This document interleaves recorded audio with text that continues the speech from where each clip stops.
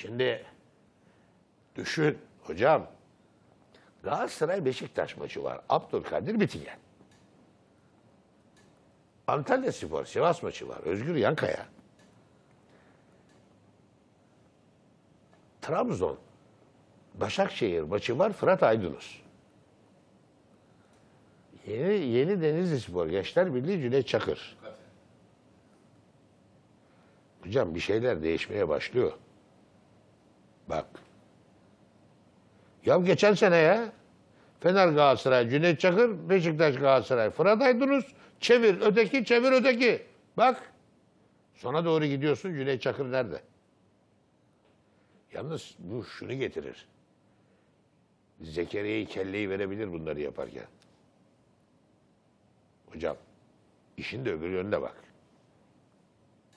Ve enteresandır bu işler ha. Şimdi sezon sonuna doğru şu hakemlerin verilişi cesaret ha. Hoca, bir düşün. Kimse tahmin etmezdi Abdülkadir Bitigen'i. Seyrediyor muydun? Ben tahmin ediyordum. Hatta biz konuştuk. Şeyler, hocayla.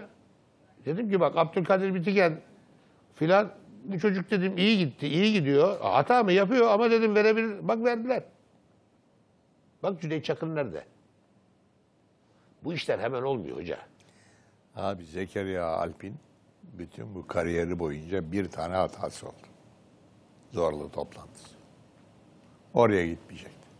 Evet. Yani Kabul oraya- etti ama onu. Onu kabul etti ama. Ama işte ne Oraya kadar, orada benim olmam lazımdı dedi de. Hocam ne şimdi kadar- federasyon kadar- başkanı da ya Zekeriya'cığım gel bir gidelim derse. Bak, ben onu telefon edip konuşacak kadar yakında arkadaşıyım. Benim evime girip maç seyretmişliği var. Kaç defa beraber yemek yemişim var. Fenerbahçe bu hafta Konya'ya gidiyor. Hakem kim abi? Hüseyin Göçek. Benim gözümün önünde bunu satırı gördüğüm zaman zorlu toplantısı geliyor. Evet. Haklısın. Ne Ya yazık. haklısın. Yani hepimizin hepimizin hatalarımızı bilmemiz, kabullenmemiz lazım. Zekeriya hatasını kabul etti ama etmesi benim bu kafamdaki artık bu gelmiş şüphe bir kere düştüm. En kötü şeydir. Hocam- Koronavirüsten beterdir şüphe Hocam virüsü. üç kişi veriyorlar. Bak Zekeriya Oğuz, Ünsal Çiber. İki İzmirli bir Zekeriya. Burada nasıl veriyorlar? Bunu nasıl veriyorlar? Yani ben buna vermem. Bu şeyin Göce'ye maç vermem. Başka maç verir. Evet, Yani üç büyükleri, dört büyükleri maçını vermem. verme. Evet, aynen öyle. Ötekine ne onun adı? Ona da vermem. Hani o geçen hafta Özkaya. he? Halis. Halis. Ona da vermem. Evet. Ne Hüseyin'e ne şeye Halis Özkaya'ya dört büyükleri maçını yıl sonuna kadar vermem. Hatta Bak vermem Cüneyt'e, diyorum. hatta Cüneyt'e de vermem abi. Vermem. Evet. Vermem. Cüneyt diyorlarım başka tarafa. Şimdi Beşiktaş Fenerbahçe maçında bak düşün ayrı ayrı şey istiyorlar rapor. Beşiktaş işin üstüne gidiyor. Var lan ne konuşuldu diye bak. Üç penaltı pozisyonu var o maçta hatırlarsın. Beşiktaş Fener maçında. Evet. Özel üstüne gidiyorlar. Beşiktaş bir yerden istihbarat yapmasa bu olayın üstüne o kadar gitmez. Gitmez.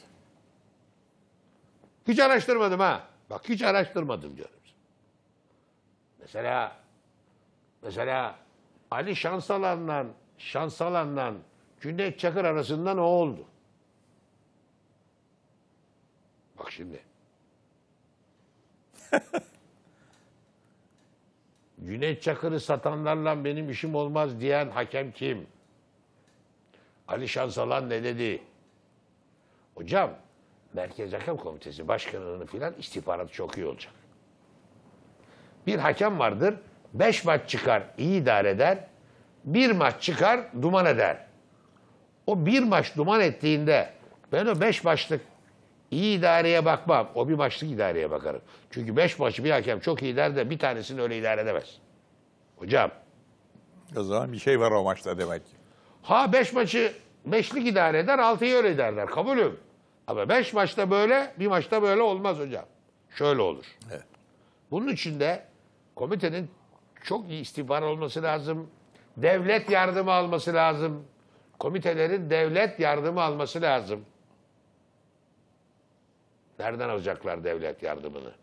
Milli istihbarattan alacaklar. Telefon dinlemelerinden alacaklar. Altını çizerek söylüyorum bunları hocam. Vay. Devlet yardım alacaklar. Ama kapalı devre olacak. Ülke yararına ülke yararına ne yapıyorsan o doğrudur. Bak nelerden Wow. bahsediyorum hocam. Şimdi gelelim derbi hocam. Ne diyorsun? Hangi yani iki maç da çok güzel ya. Ya bana sorsan işte tamam Beşiktaş şey Galatasaray Beşiktaş maçı da hocam Trabzon Başakşehir maçına baksana. Ya. He?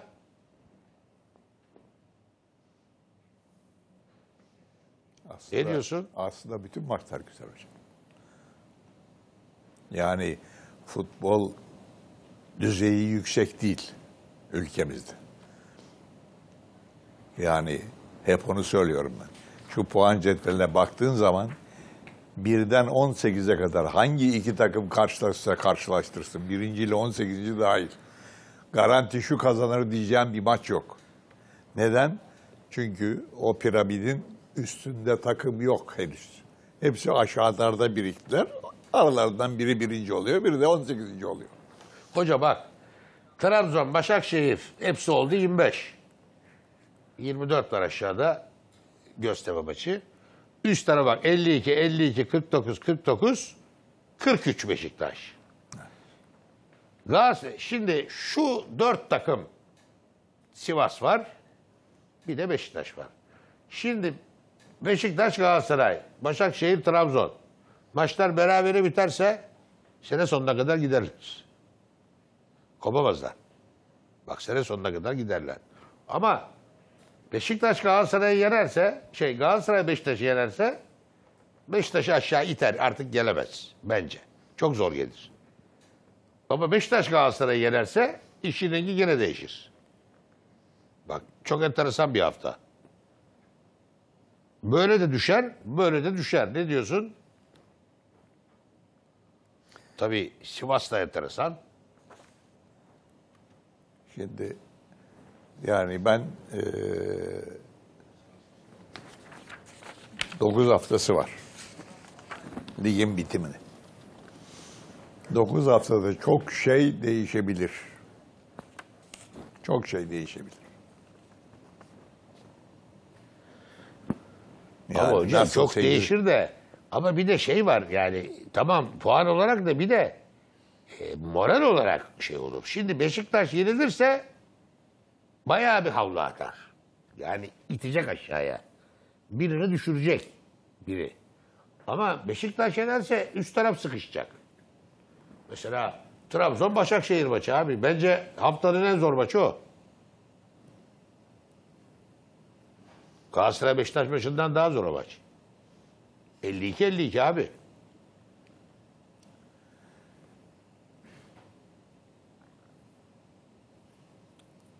Şimdi yani normal baktığım zaman e, takımların oturmuşluğuna, futboluna baktığın zaman deplasmanda olmasına rağmen Başakşehir iyi durumda. Evet. Çünkü hem bir yerleşmiş kadrosu var,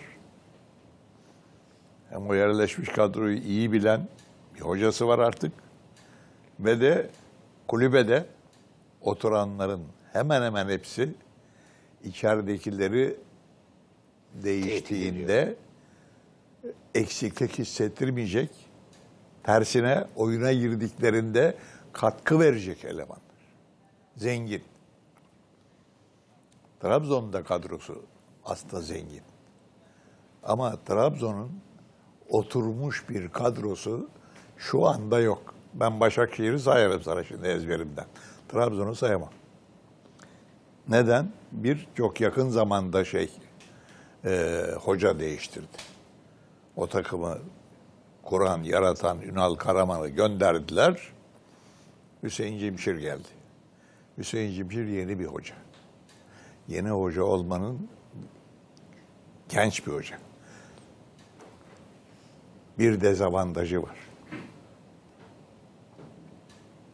çabuk etki altında kalabiliyorsun. Özellikle Trabzon'da bilmiyorum ne kadar müthiş bir yerel basın var. O kulübü allak bullak eden bana sorarsan. Müthiş seyirci grupları var. Birbirleriyle kavgalı. Tribünde ayrı ayrı yerlere oturup birbirlerine hatta sataşan. Şu son Ünal Karaman'ın görevden alınmasında kopan kıyametleri hatırla.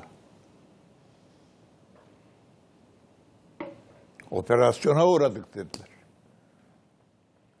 Yani biz Ünal Karaman'ı göndermek istemiyorduk ama operasyon yapıldı kulübümüze. Trabzon kulübüne kim operasyon yapıyor? Düşünebiliyor musun neler dönüyor orada işte?